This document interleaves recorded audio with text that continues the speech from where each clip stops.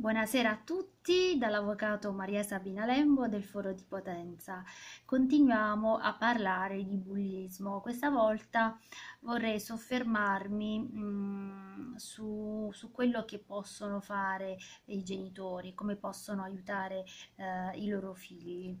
Devono essere, a mio avviso, consapevoli del fatto che eh, come genitori eh, sostengono i propri figli, li incoraggiano ad affrontare le difficoltà eh, che hanno durante eh, il percorso di crescita. E la cosa più importante che fa ogni genitore è quello di eh, interessarsi di come si comporta il proprio figlio in classe, a scuola e mh, mm, capire anche se il comportamento uh, del proprio figlio uh, è diverso, uh, è differente rispetto a quello che tiene a casa. Ehm, perché eh, vi dico questo? Perché a volte capita che appunto un genitore venga a conoscenza del fatto di avere un figlio bullo. E quindi in questo caso dovrà rivolgersi alla scuola, al dirigente scolastico, eh, piuttosto che agli insegnanti,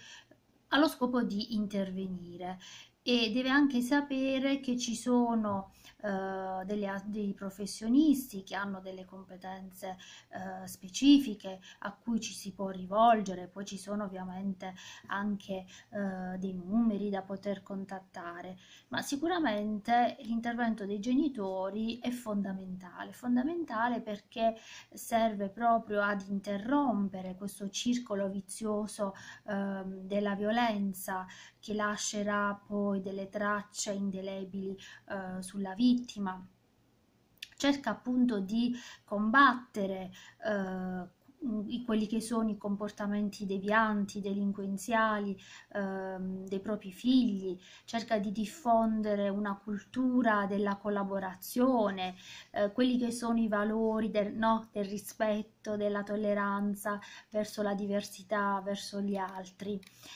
e quindi i genitori devono secondo me prestare attenzione a tutta una serie di indicatori ad esempio valutare se il proprio figlio um, è spesso solo non invita degli amici a casa piuttosto che è triste o comunque manifesta dei disagi Uh,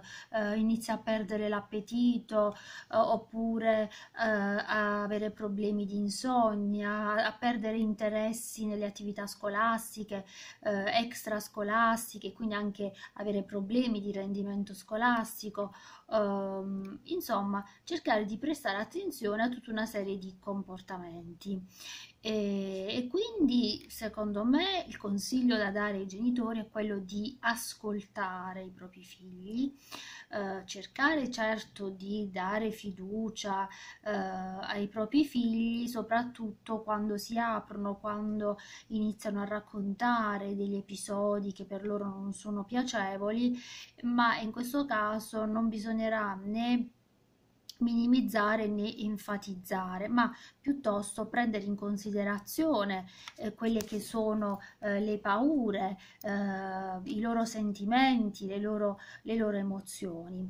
Eh, bisogna far capire che chiedere aiuto è possibile e non è un segno di, di debolezza, ma è un modo per eh, affrontare in maniera adeguata il problema. Quindi insieme ai propri figli si possono pro, eh, trovare le, le soluzioni possibili a quelle che sono le prepotenze altrui, alle violenze, quindi aiutarli, rassicurarli ehm, appunto garantendo la, la, propria presenza e di essere dalla, dalla loro parte.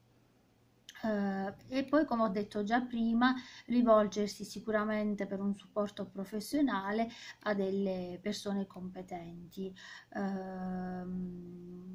bisogna ecco far capire sempre quelli che sono i valori dell'amicizia delle regole del rispetto uh, della vita degli altri l'importanza del dialogo anche nelle relazioni sociali e eh, visto che il bullismo si verifica solitamente a scuola, cercare di parlare anche con gli insegnanti dei propri figli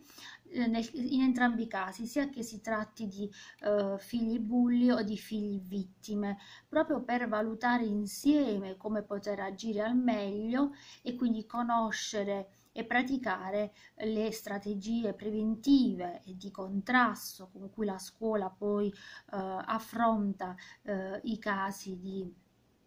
eh, di, di, bullismo. Eh, e nel caso in cui appunto il proprio figlio sia un bullo occorre mai giustificare le condotte eh, e quindi non dire che è colpa di altri ma cercare invece di responsabilizzare eh, il proprio figlio, ehm, sempre però tenendo conto che deve avere dei punti di riferimento, quindi delle figure adulte eh, che lo aiutano.